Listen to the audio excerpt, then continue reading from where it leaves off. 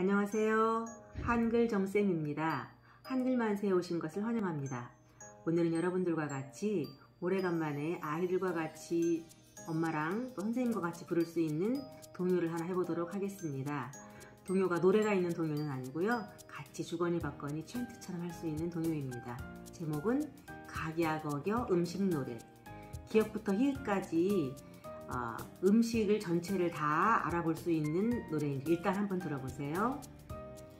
각야 거겨 김치는 매워요. 나냐 너녀 냉면은 시원해. 다랴 더뎌 돈가스는 돼지고기. 라리야 러려 라면도 좋아요.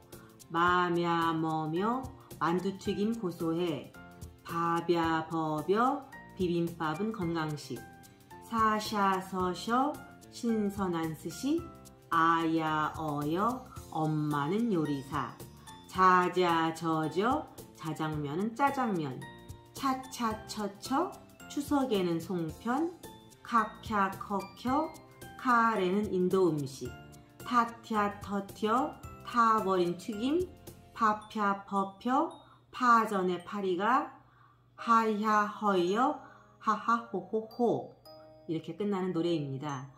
아, 각야거겨 하야허여까지 기억부터 히읗을 아이들로 하여금 첫 네소, 네 마디를 부르게 하고요. 그 다음은 기억은 기억으로 시작되는 음식, 니은이면은 니은으로 시작하는 음식, 김치, 냉면, 돈가스, 라면, 만두 이렇게 쭉 내려가기 때문에 한국의 음식을 알 수 있는 좋은 노래이기도 하고 아이들이 미국에 있는 아이들은 한국어를 많이 해볼 기회가 적기 때문에 발음이 좋지 않습니다. 이럴 때 어, 같이 주거니 받거니 하면 좋습니다. 제가 교실에서 쓰는 방법은 어, 세 가지인데 첫 번째는 처음 배울 때는 선생님과 같이 방금 제가 한 것처럼 똑같이 합니다. 각야 거겨 김치는 매워요. 이렇게 한 2주 정도 하면 아이들이 어느 정도 외우거든요. 그러면 그 다음번에는 선생님이 앞부분만 하는 거예요. 각야 거겨 그러면 아이들이 받는 거죠. 김치는 매워요.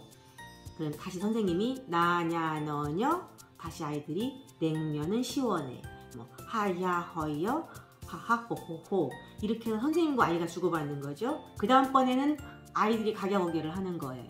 아이들이 다 똑같이 큰 소리로 각야 거겨 그럼 선생님이나 엄마가 혼자서 김치는 매워요. 자자 저저 자장면은 짜장면 이렇게 해서 하면은 자 오늘은 누가 먼저 할까요? 그러면 선생님이 먼저 하세요. 저희가 먼저 할게요. 이렇게 하면서 주거니 받거니 하면은 아이들이 굉장히 좋아합니다. 그리고 한글을 읽지 못하는 아이들도 한 2, 3주 반복을 하면은 외워요. 이거는 이제 소리로 외우는 거기 때문에 이거는 어, 글자를 읽는 용도보다는 발음을 좋게 하고 아이들로 하여금 입으로 소리내는 것을 훈련하는 용도가 더 크죠. 왜냐하면 기초반 아이들은 뭐 돈가스, 냉면, 비빔밥 이런 것들은 아직 읽을 수 있는 수준이 안 되거든요. 처음 한글을 배우는 아이들은. 그렇지만 비빔밥이 뭔지는 알죠. 냉면도 알고 그러니까 그 뜻을 설명해주고 외우도록 하는 거예요.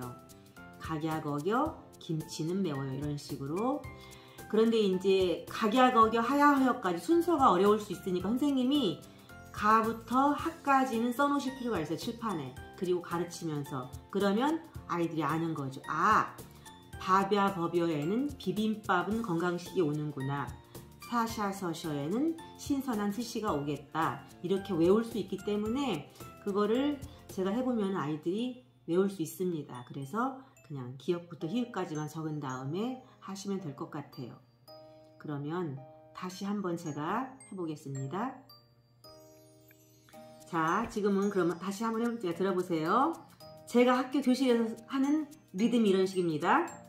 가야 거겨 김치는 매워요 나냐 너녀 냉면은 시원해 다랴 더뎌 돈가스는 돼지고기 라랴 러려 라면도 좋아요 마냐 머며 만두튀김 고소해 밥야 버벼 비빔밥은 건강식 사샤서셔 신선한 스시 아야 어여 엄마는 요리사 자자 저저 자장면은 짜장면 차차 처처 추석에는 송편 각캬 커켜 카레는 인도 음식 타튀아 터텨 타버린 튀김 파펴 퍼펴 파전의 파리가 하야 허여 하하호호호 잘 들으셨죠? 이때 음식에 따라서 선생님이 재미있는 모션을 하셔도 됩니다. 자 그러면 아이들과 같이 지루하기만 한 수업 시간 주거니 받거니 하면서 재미있게 한번 해보세요. 다음 시간에는 더 좋은 걸로 가지고 찾아뵙도록 하겠습니다. 감사합니다.